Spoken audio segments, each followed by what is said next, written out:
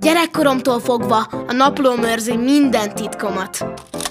Beleírom, mikor, milyen sportokban aratok sikereket, és odaírom a szerelmeim, a kalandjaim és az utazási élményeim is. Nagyon büszke vagyok a sportokban elért sikereimre. Következő dia! A naplomban lejegyzem az egészségi állapotomat, és hogy hány vadat ejtek el a vadászatokon. Meg persze azt is, mennyit lovagolok és úszom. Sajnos a szemem romlik. Már nem tudok annyit írni, amennyit szeretnék. Ezért egy idő után inkább lediktálom titkáromnak, mi kerüljön a naplómba. Te is szoktál naplót írni? Széchenyi Pisti is naplót vezet szinte minden pillanatáról. Ugye maga is vezet naplót, gépész uram?